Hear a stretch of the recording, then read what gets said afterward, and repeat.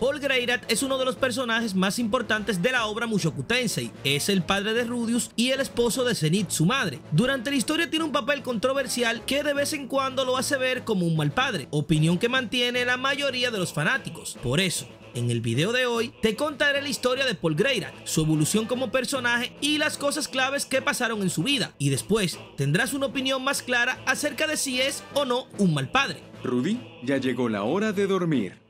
Sabiendo todo esto, está de más decirte que se vienen los spoilers. Así que sin darle ya más vueltas a todo este tema, comencemos con el video. Paul Greyrat nació en el reino de Asura como miembro de una de las cuatro familias nobles que sirven al rey directamente, la Casa Notos. Debido a este cargo, su familia se encargaba de gobernar una región dentro del reino. Pero había un detalle con todo esto, y es que solamente el hijo principal o la cabeza de la familia sería quien tendría este cargo. Los demás hombres dentro de la familia Notos que tuvieran hijos varones serían separados de sus padres y enviados a entrenamiento para servirle al reino de Asura, mientras que a las niñas se le permitía conservarlas. Penosamente Paul no era la cabeza de la familia, sino uno de los tantos jóvenes notos que estaba destinado a ser enviado a entrenamiento, ya que su hermano Pilemón era la cabeza de la familia y por ende también sus hijos tendrían el mismo destino. Esto hizo que Paul, que siempre fue alguien rebelde, que quiso vivir su vida a su propio ritmo, rompiendo todo tipo de reglas, carácter que desarrolló desde pequeño y que era conocido por sus amigos como Lilia, a quien conoció mientras estudiaba y siempre estuvo enamorada de él. Terminara peleándose con su familia y escapando de ellos a la edad de 12 años, abandonando así el apellido Notos y adaptando para él el segundo apellido, Greyrat. Algún día tendrás una esposa e hijos propios y será tu deber protegerlos. Paul comienza su viaje en busca de aventuras y vivir su vida. Es así como un día se topa con dos aventureros, un duende homosexual y una elfa prostituta, a los que rápidamente le toma cariño y confianza, diciendo que era el trío perfecto, pues las mujeres serían para él, los hombres para Elina Liz y para Talan los que preferían otra cosa. Por eso decide formar un grupo con ellos que sería conocido como Colmillos del Lobo Negro. Y vamos a abrir un paréntesis en esta parte de la historia, debido a la importancia que tiene este grupo. Los Colmillos del Lobo Negro son un grupo formado por Paul Greyrat, que se hizo famoso en el continente central y que llegaron a tener el rango S de aventureros. Tenían un total de 6 miembros, los cuales todos eran marginados que habían empezado un viaje tratando de olvidar su pasado. Elina Liz vagaba por el mundo después de ser expulsada de la tribu elfa por su maldición. Talan decidió abandonar el clan de los enanos tras ser traicionado por el hombre que amaba. Ghislaine abandonó la tribu bestia después de ser menospreciada y considerada sin talento. Giz vagaba por el mundo tras ser el único superviviente de su especie. Zenith la Trella, una joven rebelde que huyó de su familia buscando su propia felicidad. Y claramente su líder,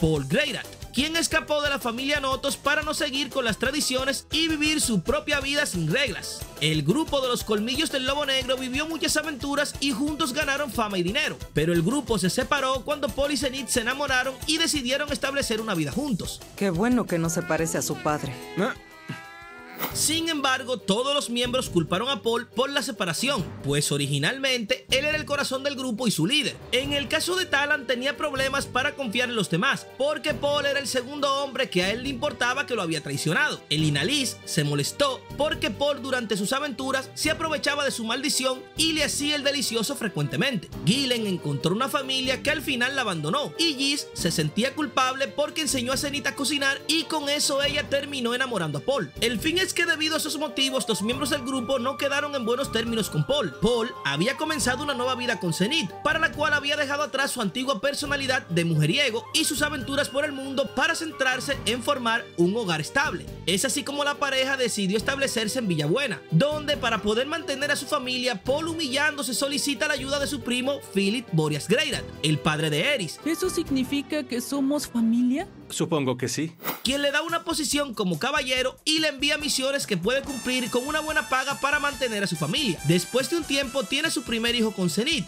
Rudius Greyrat, nuestro gran protagonista, con el cual pasan muchas cosas que hacen que la gente tilde al hombre de mal padre, pero que no es así de ninguna manera. Verán, Paul y Zenith son una pareja joven que cometieron muchos errores. Zenith era una mujer sencilla que fue criada bajo los mandatos y la enseñanza de la religión Milis, lo que hacía que tuviera disciplina, valores y más paciencia, además de ser una madre amorosa. Pero por su parte, nuestro protagonista del video no era así. Todos lo supimos casi al instante. Paul era un tipo impulsivo que antes de escuchar la versión completa de la historia ya tenía su propia conclusión e incluso sin saber todo completamente ya estaba peleando por algo que quizás en el fondo no conocía por completo, cosa que se puede ver cuando Rudius rescata a Sylphie y este no le permite explicar lo que pasó antes de meterle una buena paliza. Esta misma actitud fue la que hizo que él tuviera una discusión con su padre y que abandonara la casa Notos cuando era pequeño. Sin embargo, Paul rápidamente era capaz de recapacitar por su familia, cosa que hizo por amor a esta y que no hizo con las demás personas. Por eso precisamente los demás lo catalogaban como alguien despreciable al que no toleraban por maleducado. Pero desde que se casó con Zenith hizo lo posible por agradarla. Penosamente no era un santo y terminó siendo el infiel con Lilia. Mira, no, no es por nada, pero él por lo menos dos horas me cumple. Dos horas ni en un mes me completas. Y para acabar de completarla también la dejó embarazada. Fue perdonado solamente por la intervención de su hijo Rudius, quien hizo que su madre le diera una oportunidad y que le permitiera a su hermana vivir con ellos, naciendo así una hija con Lilia y otra hija con Zenith casi al mismo tiempo, las hermanas Nor y Aisha. Otro detalle que me estoy saltando y es muy importante para resaltar a Paul es su intervención en la vida de Rudius. Quería que su hijo fuera espadachín como él, pero al ver que era talentoso con la magia le permitió estudiarla y contrató los servicios de Roxy Migurdia. Además de eso, cuando vio que su hijo pequeño estaba enamorado a muy temprana edad de Sylphid, decidió separarlos pidiéndole de favor a su primo Philip que le diera un trabajo, tomando la decisión para que su hijo madurara y conociera el mundo. Durante la infancia de las niñas era un padre muy atento con las dos, se llevaba bien con ellas y le gustaba compartir, pero ocurre el incidente de la transportación acontecimiento que separa a toda la familia, pues todos tomaron rumbos diferentes y él solamente se quedó con Nor, a quien tenía cargada en brazos en ese preciso momento. No se descuidó nunca de los cuidados de su hija, tanto así que fue la única persona que la niña amaba incondicionalmente. Incluso los problemas entre Paul y Rudy serían una piedra para siempre en la relación con su hermano mayor, convirtiéndose la falta de respeto de Rudius en algo imperdonable para ella. Oye, ¿qué es lo que te tiene tan deprimido? Nada. Pero bueno, regresando con Paul, el dolor por perder a su familia después de años de esfuerzo de búsqueda sin ningún logro, pues ya habían pasado tres años desde el incidente de la transportación y no los había encontrado a ninguno, terminaron convirtiéndolo en un tipo amargado y despechado que se pasaba todo el tiempo borracho, condición en la que Rudius lo volvió a encontrar y que hizo que al joven protagonista contarle sus aventuras de manera muy graciosa, este se ofendiera con él y tuvieran una pelea en la cual nuevamente terminó golpeando a su hijo. Sin embargo, nuevamente recapacitaría esa misma noche, cuando Gis le dice que si mejor hubiera preferido encontrarlo muerto o con alguna parte del cuerpo que le faltara. Estas palabras cambiaron de nuevo la actitud de Paul y lo hicieron despertar, recuperando así las ganas de seguir con fuerza luchando por su familia. ¿O preferirías encontrarte con un hijo con el alma muerta y que estuviera mutilado? Nuevamente los caminos de padre e hijo se separaron y después de reunirse con Lilia y con Aisha, gracias a Rudius, al descubrir el paradero de Zenith, empezarían un viaje al continente de Vegarit para rescatarla. Pero como era un viaje peligroso, decide enviar a las niñas con su hermano Rudius, quien está viviendo una vida más tranquila. Paul no puede solo con el rescate de su esposa, quien está atrapada en un laberinto, pero no quiere involucrar a su hijo en la batalla. Es Gis quien hace que Rudius venga y arriesgue su vida. Pasan días luchando de manera continua, mano a mano con su hijo, donde ambos comparten muchos momentos y mejoran mucho su relación.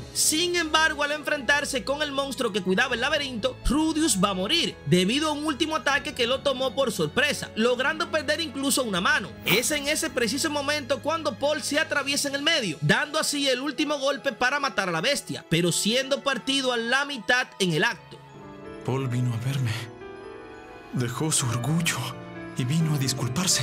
Es así como muere Paul Greyrat, luego de ver cumplida la meta de reunir a toda su familia. Paul luchó por su familia en cada momento de la obra y como personaje demuestra que no somos perfectos, pero podemos luchar por lo que realmente amamos. No fue alguien fuerte ni políticamente influyente, simplemente un guerrero que dio todo lo que tenía por amor a su familia. Es por eso que durante toda la obra, comprendiendo esta parte, Rudius reza en su memoria y le cuenta cada acontecimiento pensando siempre en los consejos que le hubiera dado su amado padre, o cuáles hubieran sido sus reacciones ante las situaciones que le ocurren a él. Ahora que conoces toda esta historia, solo quiero hacerte una pregunta. ¿Te parece Paul Greyrat un mal padre? Déjamelo saber en los comentarios. Y recuerda que en el canal tengo otros videos de esta increíble historia y que estoy resumiendo y contando lo que pasará después de esta pausa del anime. Así que visita las listas de reproducción del canal o las pantallas finales del video. Sin nada más que agregarte por ahora, nos vemos en un próximo video.